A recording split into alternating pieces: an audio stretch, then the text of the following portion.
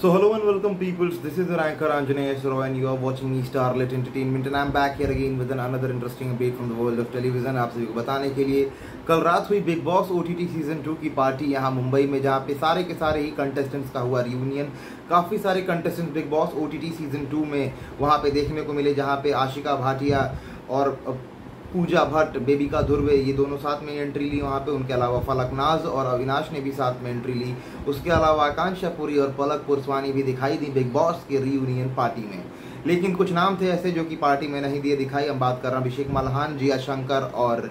साथ में मनीषा रानी की। जिया शंकर का जो रीज़न है, वो ऑलरेडी आ चुका है। हमने आपको अभिषेक मल्हान और मनीषा रानी का रीज़न पहले भी बता दिया है। एक दूसरे वीडियो में कि क्या रीज़न था कि अभिषेक मल्हान नहीं अटेंड कर पाए पार्टी बट जिया शंकर के साइड से अपडेट आया है कि किस हिसाब से वो पार्टी नहीं अटेंड कर पाएँ क्योंकि वो अपने शूट्स को लेके बिज़ी हैं और वो वहाँ पर उस वक्त मौजूद नहीं थी, क्योंकि वो जस्ट शूट से ही बाहर निकल के आई थी। तो एलविश यादव ने इस पूरे पूरे मामले पे रिएक्ट करते हुए कहा कि भाई ये लोग के स्टैंडर्ड्स अब बहुत ज़्यादा हाई हो चुके हैं और अब तो इन लोगों ने भी ब्लॉग्स बनाना स्टार्ट कर दिया और ऐसा बोलते हुए इसी में के साथ ही कर दिया है जिया शंकर के यूट्यूब वीडियो को प्रमोट साथ ही कि जाओ उसको लाइक करो फॉलो करो एंड सब्सक्राइब करो। तो आप भी जल्द से जल्द ऐसे ही और भी अपडेट्स को देखते और सुनते रहने के लिए हमारे चैनल मी स्टारलेट एंटरटेनमेंट को सब्सक्राइब कर दीजिए। Thank you so much